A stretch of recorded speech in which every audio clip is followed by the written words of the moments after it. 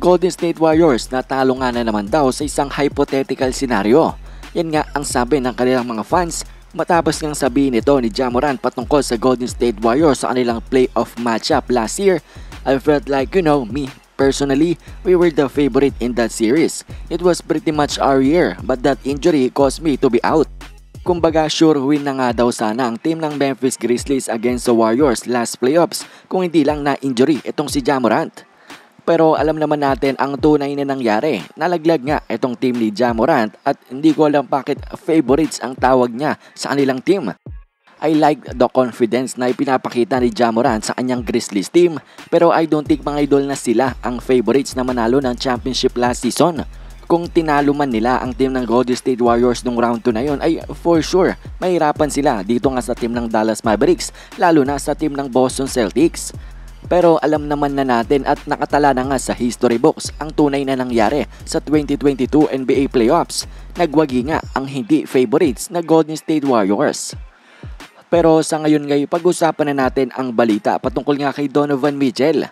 Ngayong araw kasi ay interview niya nga sa kanyang bagong team na Cleveland Cavaliers at natanong nga siya about sa mga trade rumors noon bago pa siya matrade.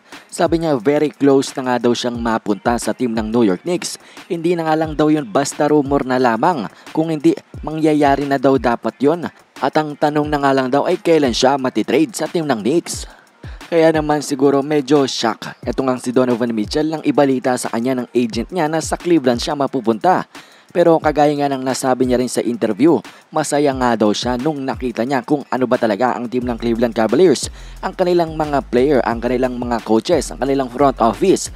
Kaya naman mga idol, excited na nga daw si Donovan Mitchell na maglaro para nga sa kanyang bagong team. At ngayon naman para na sa ating panghuling balita ay pag-usapan natin ang Lakers update na ito.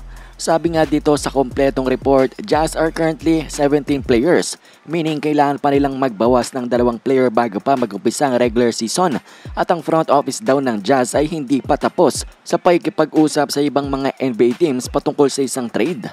Si Boyan Bogdanovic nga daw ang pinakamainit na pangalan sa mga NBA teams. Marami nga daw ang may interesado sa kanya.